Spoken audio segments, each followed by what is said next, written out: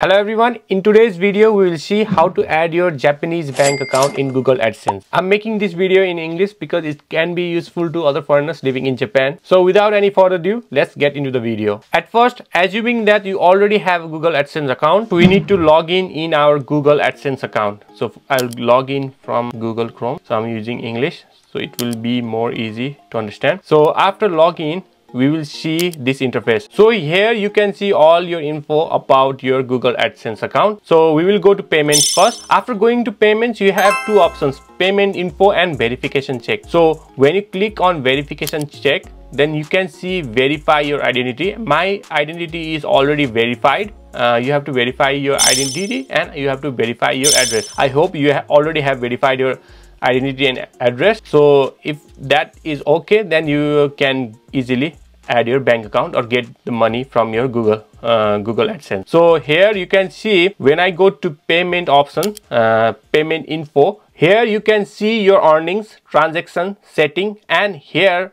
you can see I already have one bank connected to my Google AdSense. Here I don't have any add a bank option because I already had added one bank. So I will go in manage payment method. Here I can see there is a bank already added in my account and I can also add new banks in my account. So if I press in add payment method then it will take me to this interface where I can input the data of my bank. So it's very simple. You need to input your name first, the name which you have written in the bank, I mean your original. In second option, it's asking about your account type. There you have to select Chochiku. Our bank type is Chochiku. If you normally use your bank to withdraw or get salary or any other thing, then your account is Chochiku. It's not saving account, it's not normal account.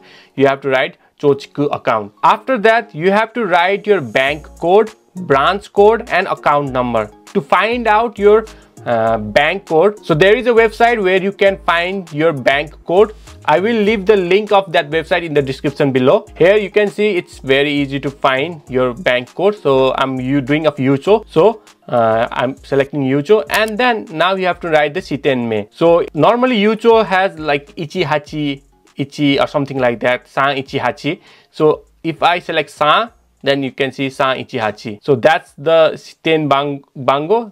That means you can find your Shiten Bango by just inputting your address and you can see the bank code of Yucho is 9900. So I'll I will do one more bank so that it will be easy for you to understand. I want to do for Gunma Bank but I cannot see the name up here. So what I have to do is I have to write uh, its first letter down there in number 2. So it's start from Ku. So uh, I, I, selected Ku and then I search here and I see Gunma Ginko. I selected Gunma Ginko and then Sentago. Now I have to write the Tenme. So where is that like uh, it's in Fujioka. So Fujioka. So I will write Fu. So if I write Fu, then it will show me the option. It's Fu Fu and then Fujioka Shiten. So you select Fujioka Shiten and then it will show you the bank code of Gunma Ginko and then it will show you Shiten code.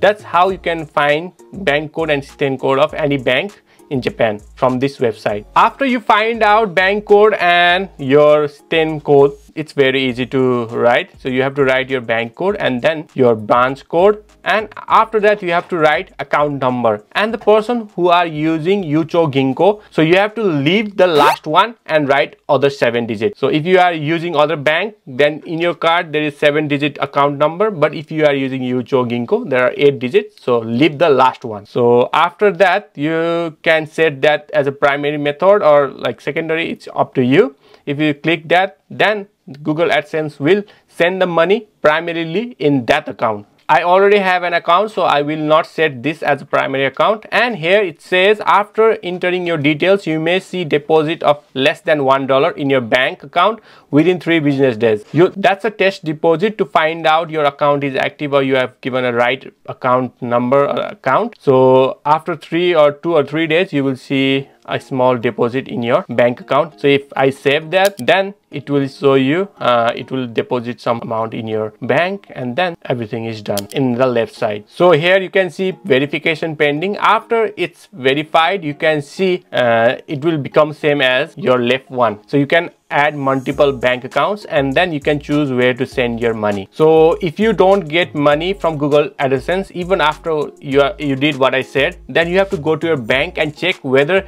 your uh, bank account allows you to get money from foreign countries or not. That can sometimes what happens is your all the process is right but your bank account don't allow you to get foreign money. Then you need to go to a bank and check whether your account is able to get money from foreign countries or not. That was all for today. This is how you can add a bank account in your google adsense. If you felt this video was informative. Please don't forget to subscribe. I will be bringing more informative videos. Till then see ya